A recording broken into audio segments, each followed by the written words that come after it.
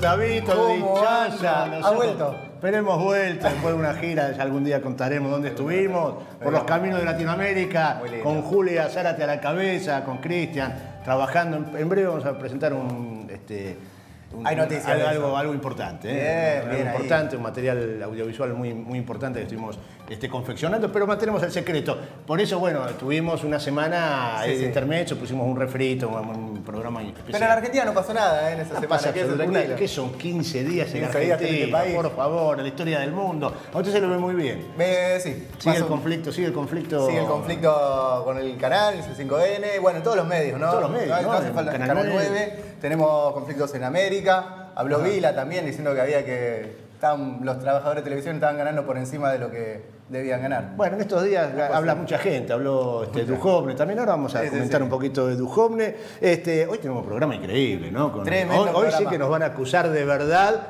de toda esta confabulación internacional. No sabría cómo definirlo. ¿Qué somos hoy? Y hoy somos como anarco, troco, populares, kirchneristas, iraníes, Venezolano. este, venezolano, qué sé yo, todo. Todo eso va a suceder hoy acá, porque cada vez se confirma, van a decir que la presencia en estridentes o no. Este, bueno, de eso se trata, lo vamos a sorprender. Este, vamos a tener un lindo programa con un gran invitado. Exactamente, ¿lo vamos Bueno. a contar nosotros? No, cuénteme algo No, usted. no, ahora le cuento un par de cositas. Favor. Primero, llovió, llovió un poquito, ¿no? En la ciudad de. Buenos Aires, en el Gran Buenos Aires, en la provincia de Santa Fe. Cayó agua para el campeonato del mundo. Sí. Eh, ahora, parece que no se entera nadie de eso. Hubo No. cuatro muertos por las inundaciones. Yo no sé, ¿dónde? ¿Te acuerdas de Mónica Gutiérrez? Iba, remaba, remaba, remaba y decía, mirá, en las inundaciones con el gobierno anterior. salió esta vez, No, no salió salió, esta vez, no, no. nadie se enteró que hay inundaciones, pero hay muertos. ¿no? Entonces digo, eh, ¿el fútbol para todos para qué era? ¿Era para construir jardines o para las inundaciones, para las obras? No, nada de eso. ¿no? El bloqueo informativo continúa, la gente se muere y la pasa mal. Pero viva la Pepa. Otro tema, Sí. otro tema tremendo, tremendo, esto fresquito, fresquito, el fallo de la justicia, de la justicia, del Poder Judicial, de este Poder Judicial que la- tenemos, con una el cual Suprema. sí, escarcelaron al- a uno de los condenados por el asesinato de la hija de Estela Carlotto. Sí. Si, si eso no es una provocación, si eso no es. Pero yo te digo, el tipo este, yo te cuento este, qué tenía, ¿no? 13 años de, de condena. Eh, complicidad en el genocidio, partícipe, secu- partícipe secundario, así se dice, en 55 privaciones ilegales, 55 privaciones ilegales de la libertad, 71 casos de tormento y secuestro y asesinato de Laura Carlotto y Olga Noemí Casado. El tipo camina entre nosotros. ¿Qué me decís? ¿Está contento? Una doble vara interesante del Poder Judicial, ¿no? Pero bueno, eh, lo que tenemos para hoy, Mirciades, no lo vamos a contar nosotros. No, por lo- por por suerte tenemos acá un locutor estrella, a Axel Castellón. Ah, nuestro cantautor criollo. Adelante, Axel.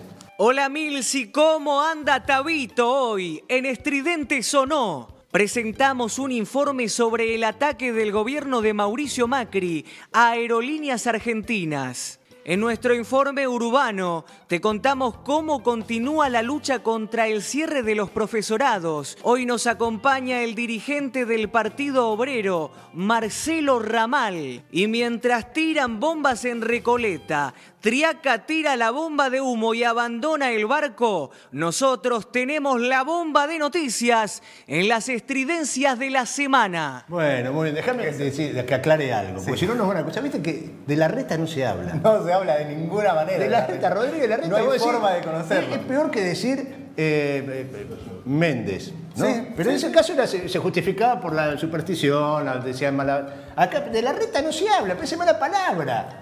¿A usted a qué se- a qué lo atribuye? Sí, qué sé yo, pero lo de Unicaba, el cierre de los profesorados en la ciudad de Buenos Aires y es obra y gracia de Rodríguez, este, el intendente Rodríguez. El intendente Sí, el Rodríguez, intendente Rodríguez. es. Altavoz. Si no van a decir, ah, en estudiantes no, tampoco la, la reta. Sí, acá hablamos la reta y lo queremos desenmascarar porque es una cosa tremenda. Acá hablamos. Se votó el presupuesto. Se votó el presupuesto. Se el presupuesto del FMI. el presupuesto del FMI, exactamente, ya están los tipos instalados como años atrás, eh, oficina en el Banco Central, Sí. ¿no? Entonces, pérdida de soberanía total, si algo nos faltaba. Y qué casualidad, se vota el presupuesto del FMI cuando se cumplen tres años de aquel, ¿te acuerdas de ese debate? Entre Scioli y Macri. ¿En qué te has convertido? Claro, ¿en qué te has de convertido? mentir, ¿En qué te- Daniel. Bueno, si uno agarra ese, es, es maravilloso, tú no es el trabajo, la tarea de escuchar a Macri en sus definiciones de aquel debate. Y todo lo que sucedió a lo largo de estos tres años, la devastación que ha este, caído sobre nuestra patria para consolidar un proyecto económico de exclusión, de saqueo, de saqueo de, la renta, saqueo del de, esfuerzo de los trabajadores, destrucción de la industria, entrega de la soberanía, en fin, todo eso se ha conseguido en tres años. Si uno lo compara con lo que decía hace exactamente tres años Macri en, aquel este, debate televisivo, se agarra la cabeza. Lo llamativo es que Hoy en día vuelve a decir lo mismo, hoy vamos a hablar de aerolíneas. claro. Y el hombre dice, bueno, hay que vender aerolíneas porque vamos a construir jardines. Pero como no construiste los 3.000 jardines que, este, de infante que prometiste... No alcanzó con el fútbol para todos, no alcanzó con el ajuste, no alcanzó con la devaluación, evidentemente. No alcanza con nada. Ahora, el Senado aprobó el presupuesto. Movilizaciones en la calle, hubo movilización gigantesca y represión, porque como venimos insistiendo, el gobierno ha comenzado a transitar su, etapa represiva, que es la única forma en la cual va a tener posibilidades de consolidar y sostener este, este modelo económico de exclusión. Em, hubo movilización, sin embargo se aprobó el, presupuesto. Con menos votos de lo que habían tenido, lo mismo que había sucedido en el Congreso. Y yo insisto con esta idea, avanza la construcción de un frente opositor todos los sectores opositores tienen la inmensa responsabilidad de tener bien en claro cuál es la contradicción primaria en este país. La contradicción primaria hoy es Mauricio Macri. Y hay que construir una alternativa electoral, política, que enfrente y derrote a ese, a ese modelo, a, ese, a este gobierno. A este gobierno. Después la discusión del modelo es más ardua. Más ardua. Pero el primer paso es derrotar a este gobierno. En este sentido yo veo señales positivas. ¿Eh? Esta semana se anunciaron rupturas en el bloque de senadores que conduce eh, el, impresentable para mí Miguel Pichetto, que tiene esos discursos grandilocuentes. 25 años hace que Pichetto es legislador en la República Argentina, diputado, senador, en fin. Y, hablaba ayer en el discurso de millones de personas que reciben cheques del Estado. Bueno, Pichetto hace rato que recibe cheques del Estado. Así es. Bueno, Vamos a hablar de todo esto con nuestro invitado y el desafío, construir una unidad opositora bien amplia que derrote el macrismo. Esa es la tarea imprescindible de la hora. Y para eso tenemos un personaje imprescindible en esa tarea de construcción, que no es más que otra persona que el Tano Seminara, que nos cuenta la posta de lo que pasó la semana, o hace 15 días también, en 6, 7 u 8 noticias. ¡Adelante, Tano! Gracias chicos, acá estamos de nuevo con 6, 7 u 8 noticias, con los titulares más importantes de lo que pasó en la semana, como siempre nos robamos la frase a Maica que decía, si estos son los titulares, señora, ¿cómo serán los suplentes? Eh? Y vamos a primer titular, Diario Popular de la semana, fíjate esta tapa, dice aumento de alquileres, alquileres en capital aumentaron un 35% en el segundo semestre, ventas de autos en su peor momento, suben nafta, transportes y prepaga, protesta de bancarios continúan los piquetes en el segro. Racing continúa puntero. Este es un diario viejo. Este es un diario viejo, ya salió. Otra noticia dice, fijan la canasta básica de alimentos en 19.601 pesos con 79 centavos. ¿eh? Mira, la canasta básica de alimentos está en 19.601 pesos con 79 centavos. Es más, con los alimentos adentro dice vale el doble. Inglaterra reclamo ante la ONU más lecho marino sobre las Islas Malvinas. Fíjate que los ingleses piden más lecho marino. Dicen más, estarían por formar una agrupación con otro internacional que se llama Los Sin Lecho. Mirá vos. Esto primero, primero te piden el lecho, después te hace de carnal relation, no sé si te acordás. ¿Eh? ¿Cómo estamos midiendo, Alejandro? Vamos todavía. Dice que el Estado Islámico castigaría a la Argentina por recibir líderes europeos. El Reino Unido, el Reino Unido alerta a turistas por ataques en el G20. ¿eh? Parece que quieren, nos quieren castigar porque estamos, recibimos a todos los europeos. Pero yo tengo otra versión, que los, islámicos dicen, no señor, no castiguemos a los argentinos, que bastante castigo tiene con el gobierno de Mauricio Macri. Sí, no, se puede. Prostitución en Flores, señor, prostitución en Flores. Frente a un colegio, se trata del Colegio Nacional Urquiza, el nacional número 9, parece que ser que enfrente del colegio paran las prostitutas, enfrente de un colegio. La chica de Flores. La chica de Flores, escúcheme, yo le voy a hablar a los legisladores que nosotros los votamos y nosotros le pagamos el sueldo y al jefe de gobierno también le pagamos el sueldo nosotros con nuestros impuestos, con los impuestos míos, con los de Alejandro, con los de Marcelo, con los de Axel. Bueno, Axel no sé si paga porque él es vegano.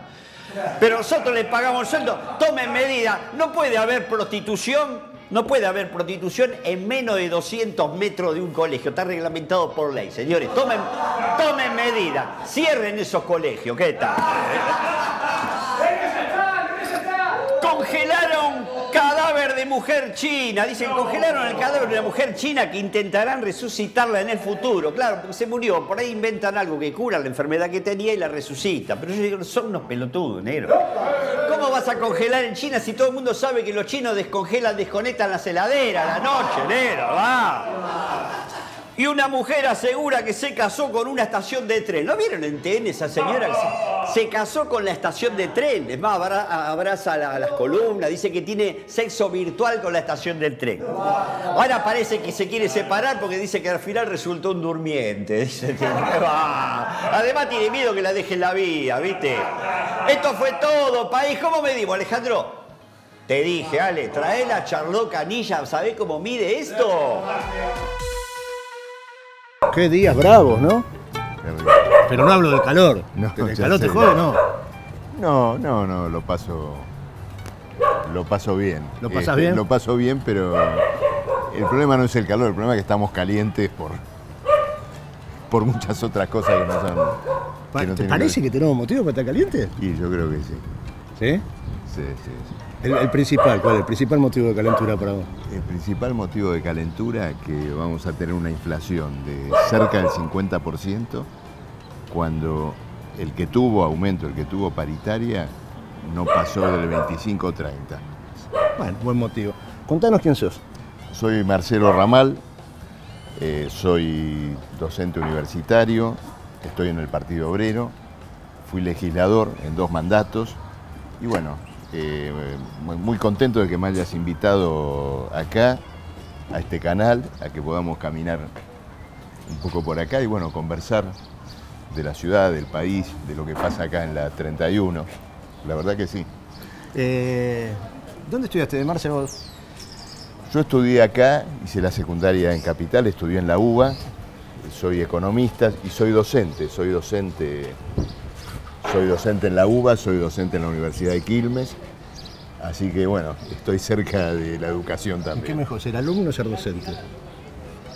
Mira, eh, todo depende del docente que te toque. Eh, como docente no tenés tanto ese problema porque, bueno, eh, los alumnos siempre son muchos, son diversos. Pero la verdad que compadezco al alumno que le toca a un docente que es un plomo. En ese punto realmente los alumnos muchas veces son víctimas de los docentes. Este, y aparte por otro problema, porque la docencia, sobre todo en las condiciones en que se vive en nuestra universidad, es una posición objetiva de poder. Y uno puede ejercerla o no, pero el que ejerce una posición de poder de la docencia es algo muy jodido. Está bien, es, es un sistema, ¿no? Es, es el, el- el- Claro, la arbitrariedad, eh, a veces otras cosas peores, pero eh, es muy feo cuando quien, por el solo hecho de estar en la posición de enseñar, se cree con el derecho a ser arbitrario. Lo que pasa es que eso te formatea, ¿no? Eso for- formatea un tipo de profesional. Sí, sí, sí, sí, formatea, eh, digamos, una forma de ser también. Es la misma eh, característica del funcionario que de pronto viene un grupo de gente a verlo y solo por ejercer ese poder lo hace esperar una hora. Y a lo mejor no tiene nada que hacer, pero lo hace esperar una hora porque de esa manera ejerce el poder. ¿no? Marce, eh, bueno, sos de caminar los barrios populares, las villas, Sí. este, tienen ustedes como un partido político de desarrollo ahí. ¿Qué es una villa para Marcelo Ramal? Una villa es un barrio construido por su gente, por sus trabajadores, por sus habitantes y construido contra el Estado. Eh, contra un Estado que en vez de pensar cómo eh, complementa esa construcción social, esa construcción urbana, aportando los elementos necesarios, eh, dando lugar a su integración definitiva al tejido de toda la ciudad, solo piensa en el barrio como un objeto de expulsión y seguramente como eh, un futuro interés inmobiliario. Así la veo. ¿La seguimos en el estudio? Dale, dale. Dale, bienvenido.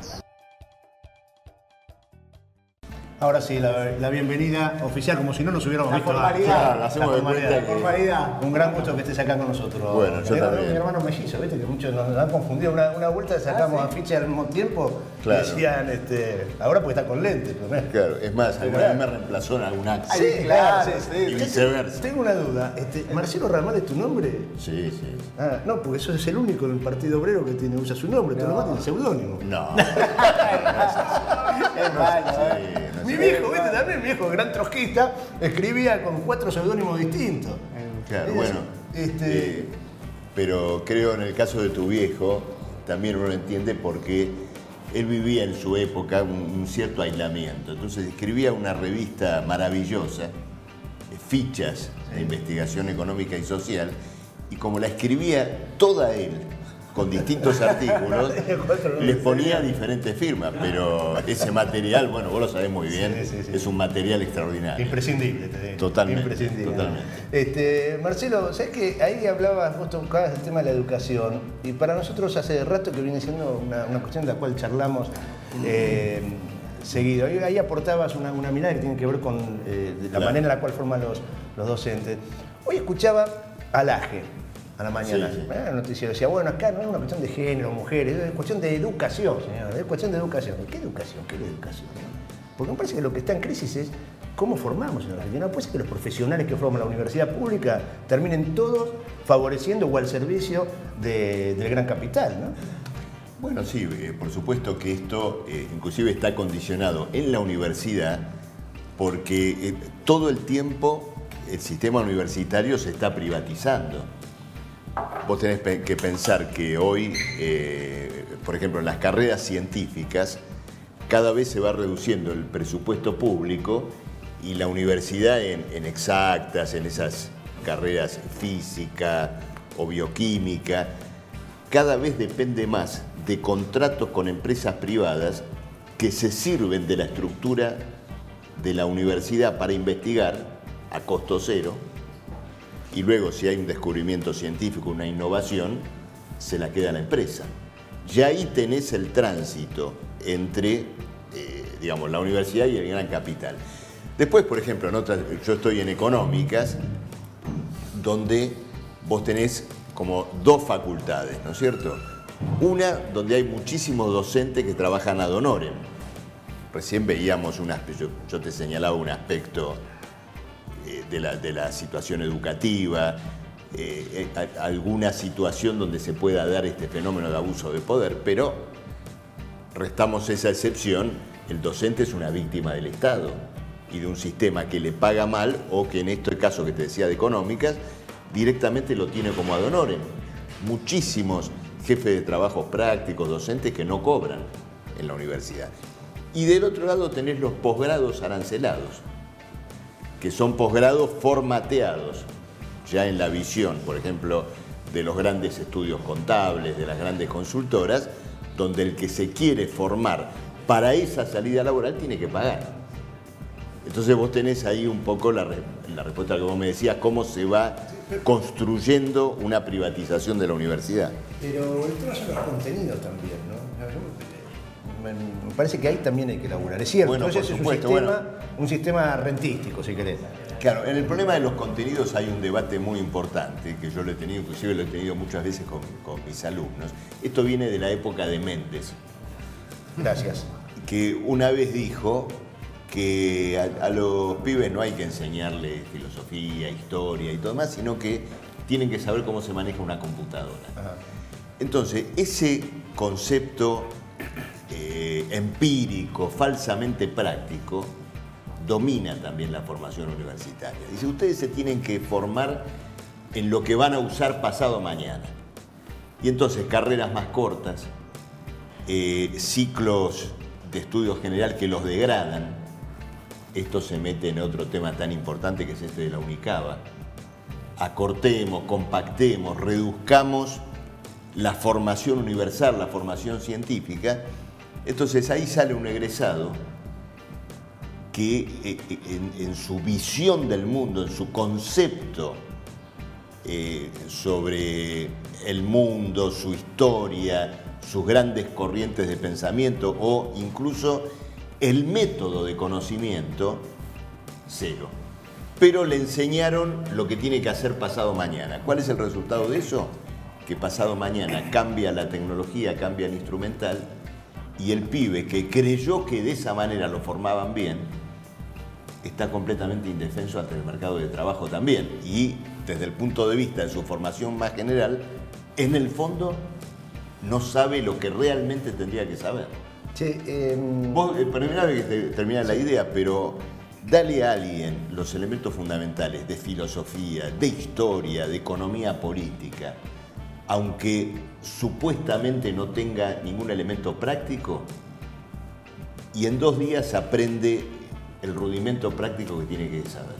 En cambio, al otro, es decir, cuando salís de la universidad y ya no tenés esa formación, o salís del profesorado de la secundaria y no tenés esa formación fuera del ámbito de la escuela o de la universidad, no la podés tener.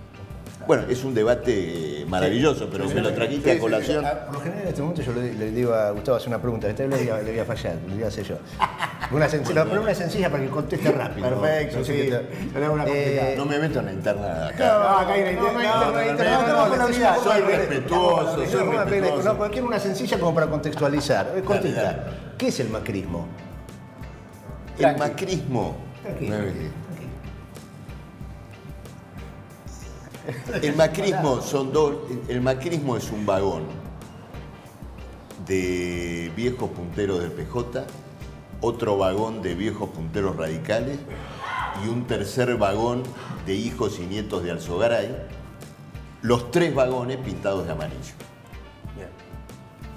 Te quiero agradecer que no le hayas preguntado qué es el peronismo. No, no. Porque si no hubiéramos tardado, no hubiéramos Yo les advertí No, que claro, no hubiéramos el último programa. Queremos terminar el programa tranquilo, digamos. En Este, el, en el plano de, de la educación y lo, y lo educativo, ¿crees que hay una, una falencia también para, para que las personas se reconozcan como sujetos políticos? Y lo planteo en términos de que después se termine votando a un empresario que se ha beneficiado del Estado permanentemente y hable desde el Estado en contra del propio Estado. Bueno, siempre hay, siempre hay falencia, pero eh, eh, eh, digamos, si me metes en este debate, yo te diría que la victoria del macrismo tiene que ver con otro tipo de, con Bien. otro tipo de fenómenos. Es decir, nosotros no podemos ver o culpar, digamos, a una incomprensión del votante fenómenos como el de la victoria del macrismo. Tenemos que preguntarnos sobre lo que ocurrió antes. Porque este, indudablemente, y esto es un fenómeno inclusive continental, eh, ciertas experiencias que en general se ubican dentro del campo, llamémosle progresista, o incluso lo que se entiende a veces como campo nacional o campo nacional y popular, estuvo muy lejos de poder avanzar en una transformación social real. Y en momentos de crisis, en momentos y en situaciones eh, a veces críticas, el pueblo sigue a quien, incluso en términos improvisados, le ofrece una salida. Fíjate lo que está ocurriendo hoy con Bolsonaro en Brasil. Un demagogo, yo diría más que un demagogo, un- una escoria de la política. Un, alguien que fue coacheado, como se diría ahora, en el alto mando militar de Brasil. Y sin embargo, un pueblo desesperado, con 30 millones de desocupados, con una crisis inmensa, termina, ¿no es cierto?, este, eligiéndolo. Bien que, digamos muy claramente, en este caso el pueblo fue casi llevado a través de una manipulación este, y una militarización de la sociedad gigantesca, porque finalmente a solo eh, dos meses y medio antes de la elección, Lula tenía el 40% de la intención de voto y fue encarcelado, proscripto, esto con independencia de este, los, eh, eh, digamos, las, las circunstancias que yo te mencionaba antes de una experiencia política que finalmente generó una desmoralización en quienes lo votaron. Pero, digamos, hagamos la salvedad de que en estos procesos, en estos procesos políticos, en esta situación como la que tenemos hoy en Bolsonaro en Brasil, bueno, las noticias falsas, la acción despótica eh, del propio ejército metiéndose en la vida política y finalmente las proscripciones políticas, ¿no es cierto?, llevan a un determinado desenlace. Bien, eh, tenemos en este tenemos. momento que ir a, a- a esta. El productor saca el cuchillo. Eh, sí, lamento, ¿Qué lamento es mucho porque recién estaba calentando motores como para entrar a- a- a- al debate, digamos, de los procesos políticos y sociales. Pero bueno, vamos a, A cumplir ¿qué con, es el, esto? con el productor. Acá hay un montón de figuritas de, de- de calcomanías. La idea es que vos elijas una y engalanes nuestro termo, que ya va quedando con un, un solo, un solo. Vamos a correr el vasito, así podemos tomar. como- Ah, mira, escúchame, acá está Trotsky. Sí, sí, no, no, no Estuvo siempre Trotsky. Siempre lo pusimos a Trotsky. ¿Lo vas a elegir a Trotsky? Esperaba el momento que viniera uno de nosotros, que Por viniera un supuesto. Trotsko, Bueno, pasó. Por un supuesto. Trotsko y lo Mira, mostrale, mostrale ahí. Mostrale a la cámara, mostrale a la Por primera vez en la televisión argentina. Ah, pará, para tirar un plan. Acá Mira, León Trotsky. Acá está. Qué grande. Muy bien, ahí le vamos a poner el ganchito. ¿Y por qué Trotsky? Yo ahora sospecho de algo. Esta figurita la tenían acá hace mucho tiempo y me invitaron a mí para que la eligiera. A ver quién la elige. Ah, sí. A ver quién la elige. ¿Y por qué Trotsky? ¿Cómo? ¿Por qué Trotsky? Pon un ganchito Ah. ahí. Hay un gancho. No, a ver, ¿por qué? ¿Por qué eh, León Trotsky? No, primero fue un gran protagonista de la primera revolución socialista de la historia. Y después que escribió cosas fundamentales que van a ayudar muchísimo para las revoluciones socialistas que seguramente van a venir. Porque el mundo, el mundo que tenemos, el mundo del capitalismo, es este que vemos todo el tiempo, el mundo de los refugiados. Los refugiados en Europa, los que se van de Centroamérica en una situación desesperante hacia el norte, el mundo de las guerras, el mundo de estos jefes del G20 que van a venir ahora. Eh, la humanidad eh, no tiene nada que esperar de este régimen social que ha eh, este, succionado a la humanidad en beneficio de un puñado de bancos. Y Trotsky bueno. ayuda para eso.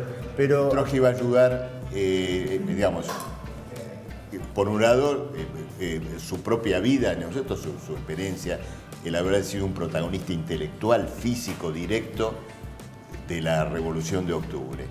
Pero luego porque escribió textos enormes para poder entender inclusive lo que, lo que ocurre hoy. Mira, yo estaba leyendo hace poco un libro de él, eh, que es una compilación de las cosas que escribió sobre Alemania en los años previos al ascenso de Hitler.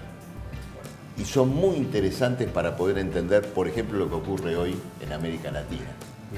Bueno, la seguimos. Tenemos que ir, ¿eh? Un Va. programa Kirchner Trotskista, no te vayas. Ya volvemos.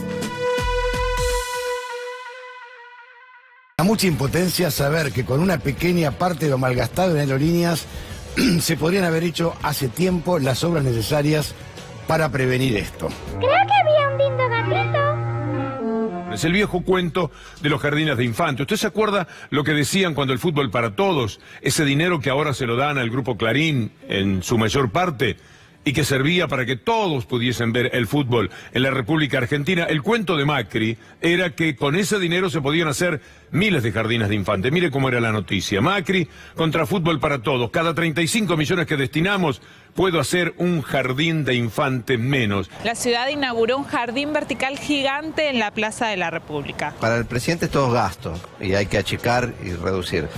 Yo quisiera ponerle números a esto. A ver. El- el- lo que él llama el gasto de aerolíneas argentinas en el año 2017 fueron 3.277 millones de pesos. Dice que se podrían haber resuelto las inundaciones con 3.277 millones de pesos. No me imagino lo que se podría haber hecho con los 70.000 millones de pesos que su empresa, que el correo, le debe al Estado. Una maravilla, mirá lo lindo que está. Y el otro cinismo del presidente es quejarse de que la empresa estatal, de que un servicio público reciba parte del presupuesto del Estado. Cuando su empresa privada recibía presupuesto del Estado para su lucro personal y no decía nada. Cuando el correo argentino. Correo argentino o la empresa de aviación. Ni me, mezclo- ni me meto con el resto de los negocios que tiene Macri. Pizzería Los Hijos de Puta, ya diversificamos nuestro negocio porque estamos para crecer. En caso de despresurización le va a caer una máscara. de Musk. No, tiene material reciclado. Eh, usan la, la gaseosa, la parte de arriba. este. Eh, Se respira bien, ojo, ¿eh? Ahora usted puede viajar en aerolínea, los hijos de puta. Yo recuerdo toda la campaña del 2015, me la acuerdo muy bien. Y me acuerdo durante toda la campaña cómo el kirchnerismo dijo que Mauricio iba a privatizar aerolíneas. Todavía lo están diciendo. Ahora lo vuelven a decir. Es mentira. Y el tiempo demostró que habían mentido, porque Aerolíneas no se privatizó. No solo no se privatizó, sino que mejoró. Y cada vez el Estado le tuvo que poner mucho menos dinero que el que le ponía el kirchnerismo para que funcionara.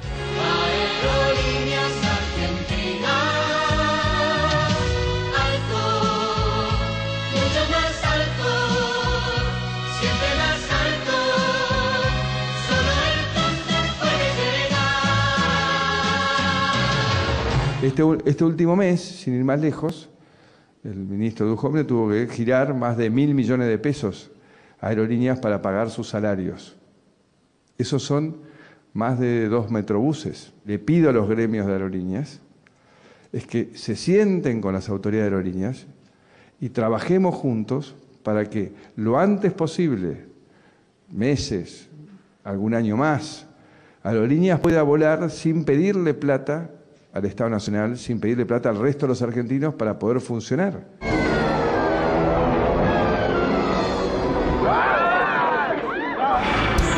Servicio aéreo acorde al bolsillo de todos. Una de las cosas que hacen cuando discuten los salarios es dar a conocer lo que ganan ciertas personas, como en este caso los pilotos de aerolíneas argentinas.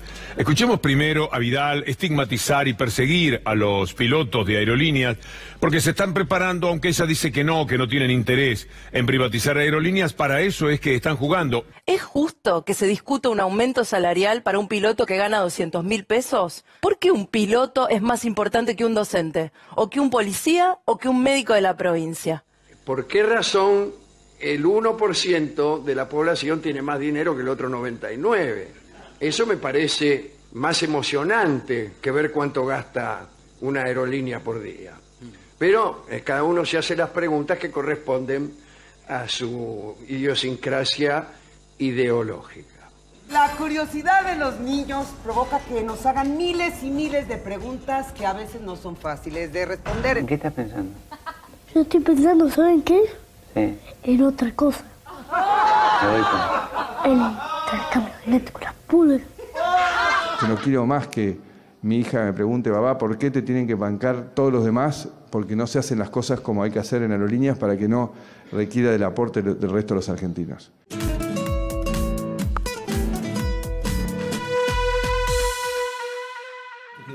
Incomodar, pero es que me llamó Antonia que tenía ganas de hacer conducir. Viste, la piba es muy hábil. Es muy de hábil, conducir. es muy muy inteligente, hace preguntas muy, muy buenas. No, es increíble. Está en el grupo de los que querían preguntar, ¿no? Bilsi, me metí a investigar un poco qué hay atrás de todas estas declaraciones de Mauricio Macri y Aerolíneas Argentinas.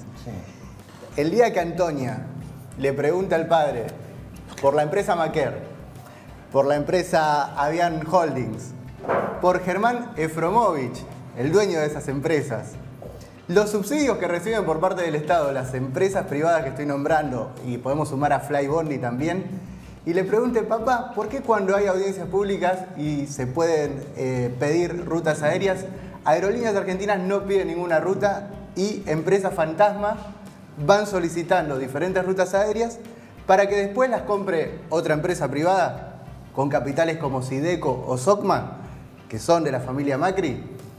Esas preguntas, el día que se las haga Antonia, yo no sé qué le va a responder Mauricio Macri. No, lo va a mandar a Laura Alonso. Es decir, preguntar a Laura que te va a responder. Y si Laura- no está presa Laura, ¿no? Para ese entonces. Y Laura Alonso, que recibía financiamiento por parte de Paul Singer, los fondos buitre, en la ONG Vital Voices, y Paul Singer, que además tiene sociedades compartidas con Efromovich en lo que es la empresa Synergy, radicada en Panamá. Todo este quilombo que te acabo de mencionar, lo voy a tratar de plasmar en una nota próximamente, Vos sos un Y desestabilizador. espero que Antonia le pueda preguntar esto al padre. Vos sos un desestabilizador total y absoluto. Ya le, lo- le sacaste la careta al pueblo. ¿Vos creés que este, este, este que tenemos acá le sacó la careta a Dujovne que vivía en un baldío? Que no vivía en un baldío. Sí, le hizo ¿no? la nota, todo. Y ahora le hace estas cosas. A la semana lo nombraron ministro de Hacienda, lo ascendieron. Lo ascendieron, bueno, está bien. Tampoco ¿viste? El tipo, este, hablando de Dujovne, nunca se hizo un ajuste de esta magnitud sin que caiga el gobierno. Dijo ayer cuando se votaba el, el presupuesto. ¿Cómo se.? ¿Eh? ¿Qué, se- qué hacemos con esto? eh, Yo te- cuando te preguntaba qué Hay es el que, macrismo, resolver, hay que resolver esa, esa contradicción.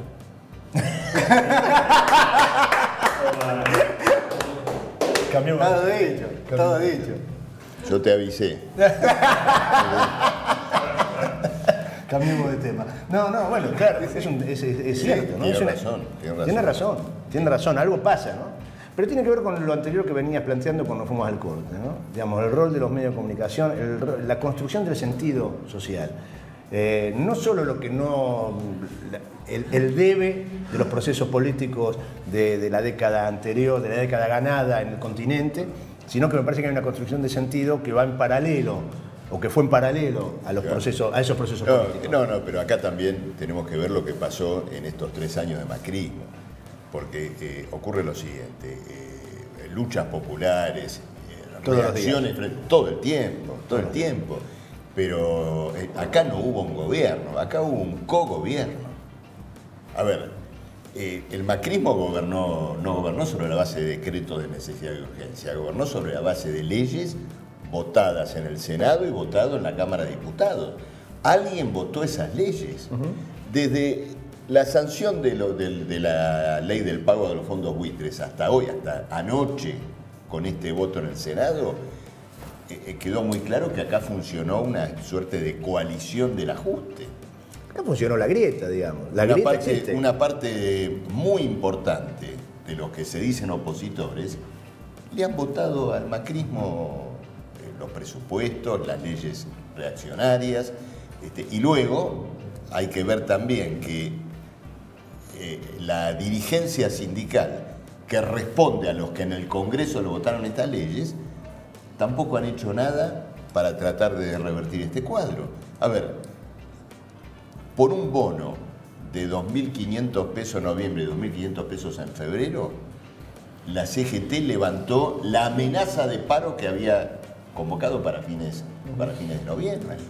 Entonces, vos ahí tenés este tema de decir nuevamente, le echamos la culpa a la gente, le echamos la culpa al, pueblo, o vemos cuál es la catadura de una pseudo oposición este, que virtualmente, ¿no es cierto?, ha caucionado al, al macrismo. Mira, el pacto fiscal que precedió a la votación de este presupuesto fue acordado por, la gran mayoría de los gobernadores.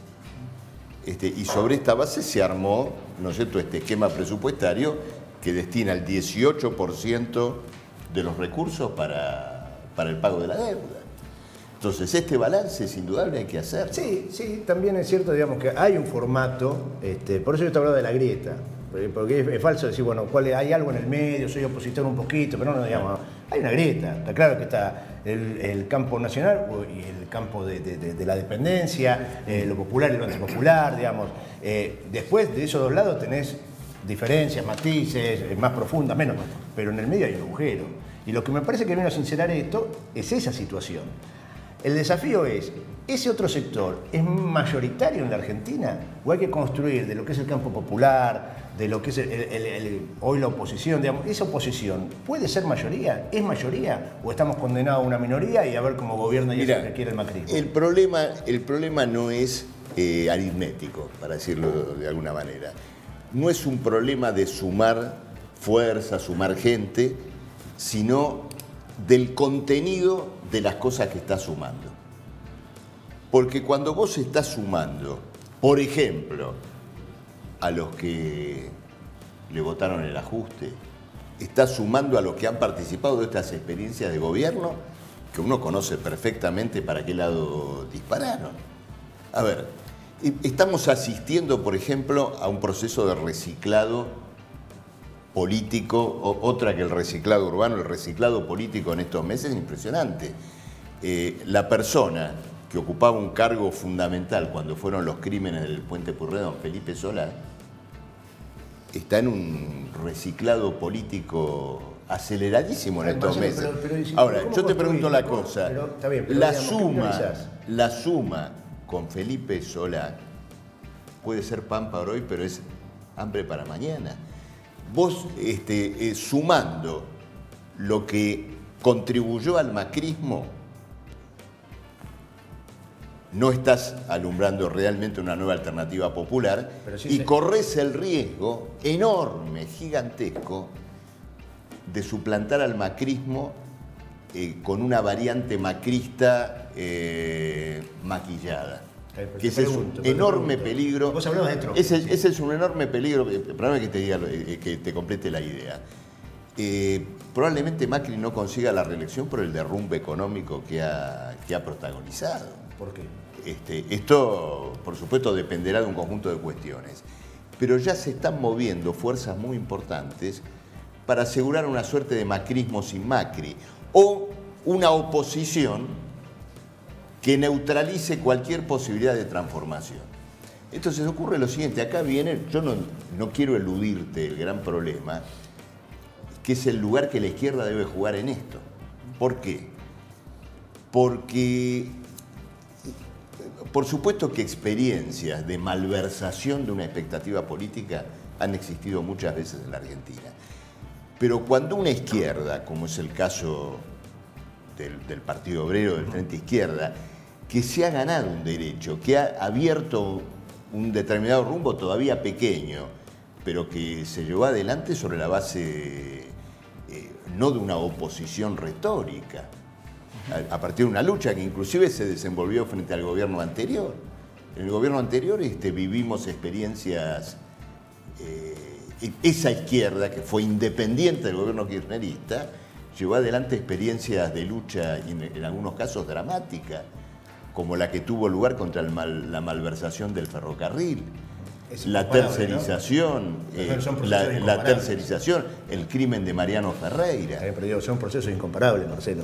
Nada es igual, eh, ninguna experiencia Entonces, es igual a otra. déjame que te pregunte, Pero, porque si no, no, eh, pero déjame que quiero, te no, pero quiero te terminar con mi idea, quiero terminar con mi idea. ya venís con la idea, Quiero, quiero terminar con mi idea. En esas circunstancias, eh, eh, eh, digamos, ese surco que nosotros hemos abierto, y en función de- del futuro de los trabajadores, del futuro del pueblo argentino, es muy importante que defienda una independencia política. Es enormemente importante porque hay algo peor que una experiencia progresista decepcionante. Que en esa experiencia progresista, la izquierda, que había luchado por una independencia, que había abierto un rumbo propio, termina enfeudada con ella. Eso es terrible. Eso, No, está bien, pero- digamos, es lo, es lo que eh, implica un retroceso monumental en las expectativas y en las la posibilidades de derecha- que la construcción derecha- política. Que la derecha pierda las elecciones no es algo de determinismo histórico. Por supuesto. ¿no? Es algo que hay que construir. Entonces Desde vos recién hablabas de Trotsky. Y Trotsky a lo largo de su historia tuvo eh, varias ocasiones en las cuales terminó apoyando eh, personajes con los cuales estaba absolutamente opuesto, que expresaban políticas absolutamente antipopulares, pero que en la coyuntura, ante la contradicción primaria, dijo, no, este es el camino. Entonces digo, como no hay un determinismo histórico, el rol que toma la izquierda, sin perder identidad, sin perder autonomía, me parece que es central, porque no es lo mismo una experiencia progresista, nacional, popular, que ande más o menos, que, sea, que profundice más, que profundice menos, que el macrismo que expresa al CEO, al CEO gobierno la entrega total de, la patria y la entrega de, la soberanía. ¿no? Como te decía antes, todo es diferente, ¿no es cierto? Nada es igual. Y Trotsky tenía una conciencia muy profunda de la necesidad del frente unido, del frente de lucha, de la acción contra la derecha, contra el fascismo, y así lo escribió, por ejemplo, en los textos que te mencionaba. O felicitándolo a Eisenhower, digamos, qué sé yo, que, ¿no? eh, que tenía que ver, ¿no es cierto?, con el caso, con el caso de Alemania. Incluso luego en México defendió la nacionalización petrolera de Lázaro Cárdenas contra el imperialismo, contra el imperialismo norteamericano. Nosotros hemos actuado siempre así, pero el propio Trotsky en esas circunstancias siempre defendió una independencia política y desarrolló esa posición desde un lugar de independencia política. Nosotros en Brasil hemos llamado a votar a Haddad contra, contra Bolsonaro, en una circunstancia política muy clara, donde inclusive el pueblo que estaba y las mujeres que se movilizaron contra Bolsonaro eh, se colocaban, ¿no es cierto?, en el campo del voto, del voto Haddad y estábamos indudablemente ante la experiencia de un fascista. Todas esas situaciones deben discutirse concretamente, deben verse siempre en un marco histórico concreto. Pero el Frente Izquierda ha abierto en la Argentina un surco de independencia política frente a los grandes bloques que han gobernado, que han gobernado el país. Y vamos a defender ese terreno, vamos a buscar desenvolverlo, vamos a buscar eh, ensancharlo. Eh, es importante inclusive que debatamos con qué planteamiento político y económico afrontamos esta crisis. Porque eso va a ver siempre si una unidad, ¿no es cierto?, suma o esteriliza. Eh, si vamos a suplantar a Macri para seguir el acuerdo con el Fondo Monetario, entonces nos hacemos cargo del ajuste eh, que, que Macri inició.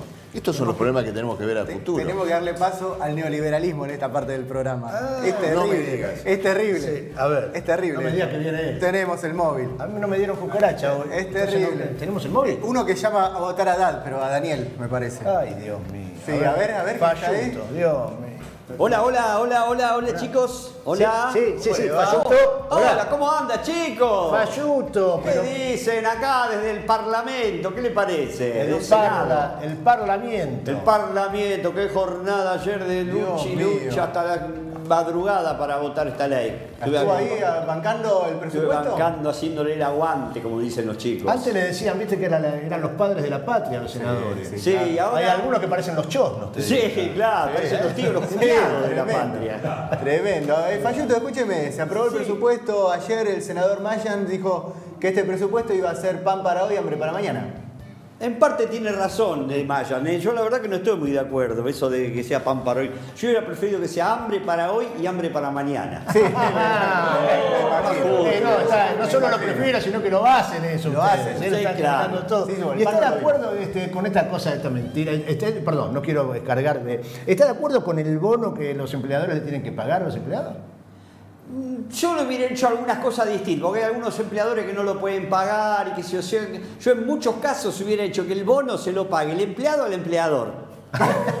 hubiera sido un poco más justo. Le voy a decir que en los últimos 70 años, querido, 70 No, años. de- 70 años. Hace- Le digo que en los últimos tres años eso viene pasando, ¿eh? porque la transferencia de recursos de los trabajadores este, Es a- más. hacia, los, hacia los grupos económicos es monumental. Es más, si nos vamos a los últimos años, el salario mínimo pasó de 700 dólares, si lo medimos en dólares, a 300. A 300 dólares, sí, sí, es más, ¿Alguien se lo llevó? ¿Usted sabe quién fue, Falluto? Se lo mide en euros, es menos todavía. Casi 200. Está bueno porque ahora va a venir mucho turismo, qué sé yo. Se pueden llevar salario mínimo de souvenir. ¿se Escúchame, le- No, no, no. Escúcheme, este, le voy a- estamos con un invitado, como siempre. Sí. Este, Marcelo, eh, te cuento, estamos hablando con Luis Falluto, que es el primo hermano de- de- del Caputo que estaba ahí en el Banco Central. ¿viste? Este hombre está a cargo de la Secretaría esta de, de- el- crecimiento invisible.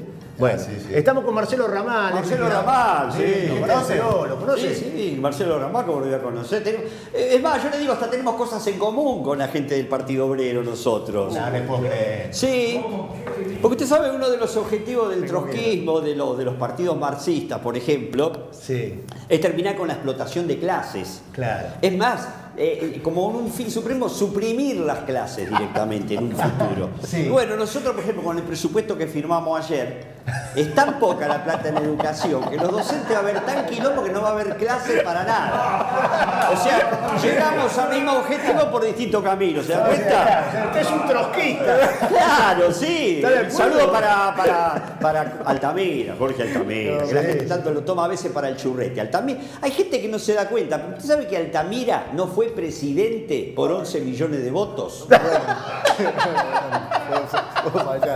El neoliberalismo es brutal. Marcelo, Sí, es brutal. Sí. No, a ver, eh, lo, lo pri- lo primero que te quiero decir es que... Sí, Marcelo. eh, en realidad dijiste eh, algo, eh, Falluto, muy, muy profundo. Sí. Que el, el capitalismo, en sus contradicciones, en sus ajustes, empuja a la revolución social. Claro, sí, sí, Es esto lo que claro, dijiste. totalmente, y cuando totalmente. pasa eso, 11 millones de votos no son nada. Ahí está. Ahí está. Usted El se- optimismo. Es tremendo. El optimismo al palo. ATR. ATR. Ustedes, ustedes se dan cuenta que, que su política económica está fracasando, ¿no? Se No es cuenta. así. Son ustedes que no se dan cuenta que están teniendo éxito. Vamos. Este parece un chiste. Sí, parece un chiste, pero este, los delincuentes de los fondos buitre se, eh, se tiran sobre vaca muerta. No, no sé por qué le dicen los delincuentes. No, no son delincuentes. Eso es discriminación. Mire, es como para denunciarlo al INADI. Yo le diría, son personas con voracidad diferente, ¿se da cuenta? Vamos, Bueno, veámoslos así. Bueno, ya que Sí. tienen voracidad diferente, sí. ¿por qué no se hace el muertito abajo de ellos? Bueno, ¿Eh? como No me que- será, Payuto. Volveré y seré viñones. mi-.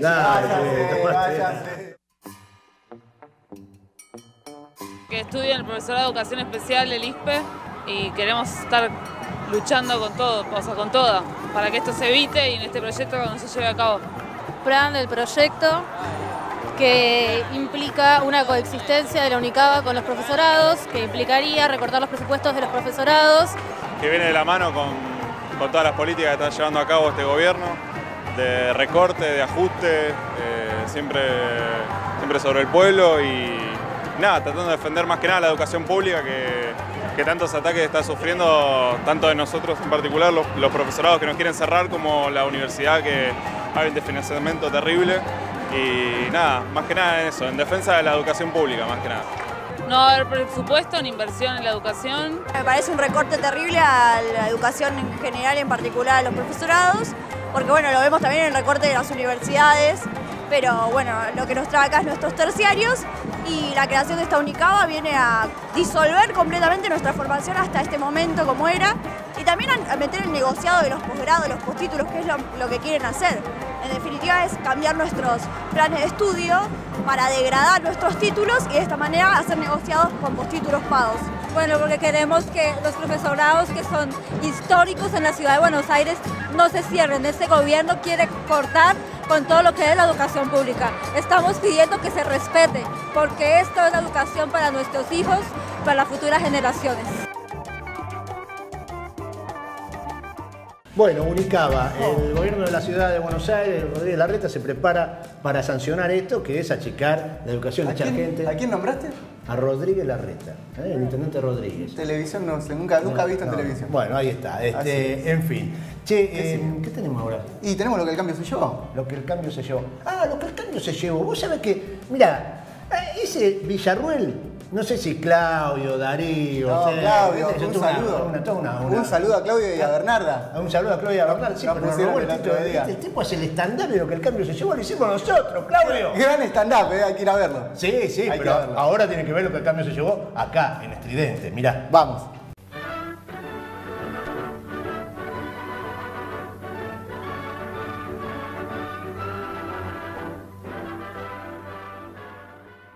En el año 2015, durante la presidencia de Cristina Kirchner, se sanciona el presupuesto 2016, que destinará un 6,6% al pago de la deuda externa.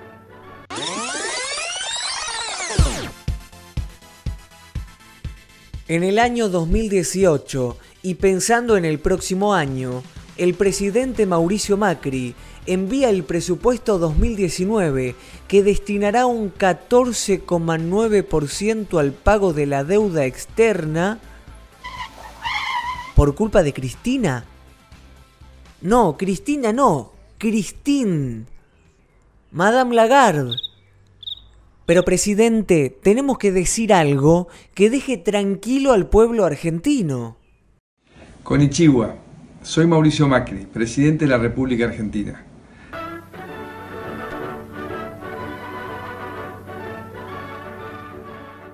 Menos mal que no podemos reír. Konnichiwa, konnichiwa, konnichiwa. Ah, no, bueno, ay, bárbaro. Che, nos tenemos que ir, Marcelo. Este, no, se nos termina el programa, un desastre. Bueno, Nos bueno, fuimos muy La verdad quedaba para dos programas, pues Sí, ni no empezamos podíamos. a discutir todavía. No importa, no importa, pero Algo- dejamos interrogantes Sí. para todos los que nos vieron. Bueno, me imagino que si hay un escenario de balotaje al que no llegue el... to- Yo te digo, si ustedes llegan a la balotaje, lo voto.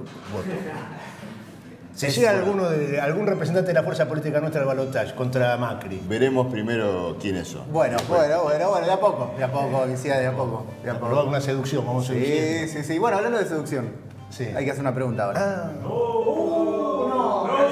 Vos un tipo serio, profesor universitario. Sí, pero te va a responder con, con holgura. Bueno, en este momento eh, nada, te pido que te puedas explayar con mucho detalle, desarrolle, dirías vos, desarrolle. Eh, ¿Cuándo y cómo fue tu primera vez?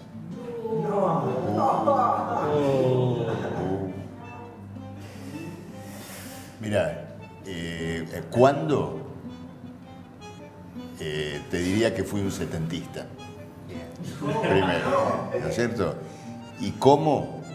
Con los Pará, métodos... pará, pará, pará, no, pará, pará, Sí. no no. Me parece que arrancaste para cualquier lado. No, ¿cuándo y cómo fue tu primera vez que te conmoviste con la cuestión social? Sí, lo que te Me asusté, ¿no? Que acá hay una cara degenerado. No, ¿sabes? nunca dejé de hablar de eso. Ah, está bien, está bien. Y fue con los métodos de Trotsky. Fue la revolución permanente.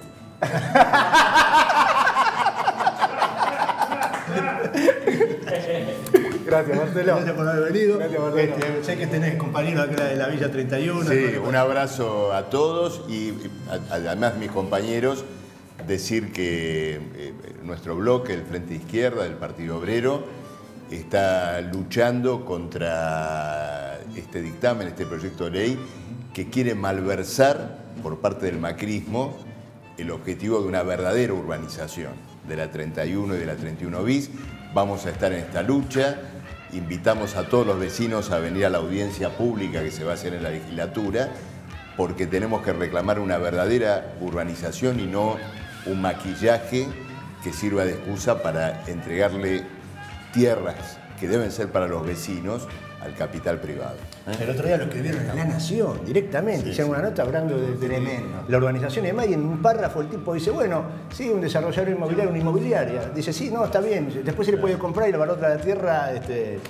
Qué bárbaro. Terrible. Bueno, nos hemos hecho de vuelta, Lo hicimos de nuevo este, este programa que ya lleva este, año y medio largo. Año y ¿no? medio largo Año y medio largo, sí, sí, ¿quién lo espectacular. dicho? Cada vez se ven más lugares, porque se ve, por ejemplo, se ven Pares TV. Pares ¿sí? TV. Eh, este, el canal hermano de Luján, Diego, abrazo hermano. Mil, si me dicen en, en TV también, en Viedma. En Viedma, sí, la gente de Viedma que sumó a su programación Estridente Sonó, lo mismo que Giramundo TV, ¿eh? este, ahí está el cuervo. Mendoza. En Mendoza, claro, claro. Y por supuesto se ven 360 TV en todo el país.